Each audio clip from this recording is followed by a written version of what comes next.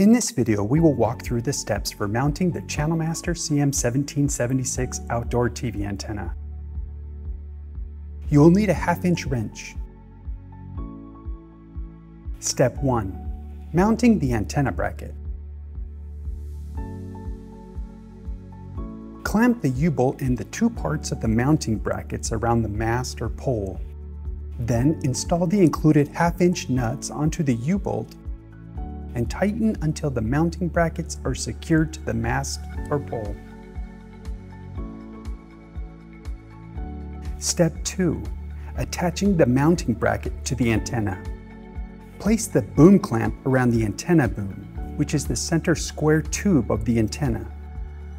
Then attach the boom clamp to the mounting bracket using the included half-inch bolts. Step 3 attaching coaxial cable to the antenna. Loosen the thumb screw on the bracket holding the balun matching transformer. Then attach your coaxial cable to the balun matching transformer as shown. Finally, tighten the thumb screw to keep the balun secure against the bottom of the antenna. This concludes the mounting of the Channel Master CM1776 outdoor TV antenna.